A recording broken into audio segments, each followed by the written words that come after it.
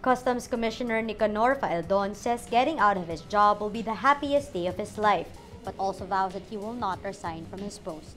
Lawmakers earlier called for Faeldon to resign after a Shabu shipment from China worth 6.4 billion pesos was smuggled into the Philippines. Faeldon says, quote, they can kick me out anytime, but this is a mission for me, and as a soldier, I will not quit. Faeldon also lashes back at politicians, saying they help perpetuate corruption in the BOC with their unreasonable requests.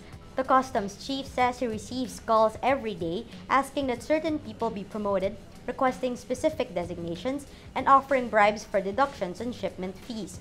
Faeldon says, quote, My God, shame on you. Stop it. This is not your country. This is not your property. This is not mine. This is the Filipinos Bureau of Customs. He refuses to name names, but hints that the one who is most angry at him in Congress has sent him the most requests.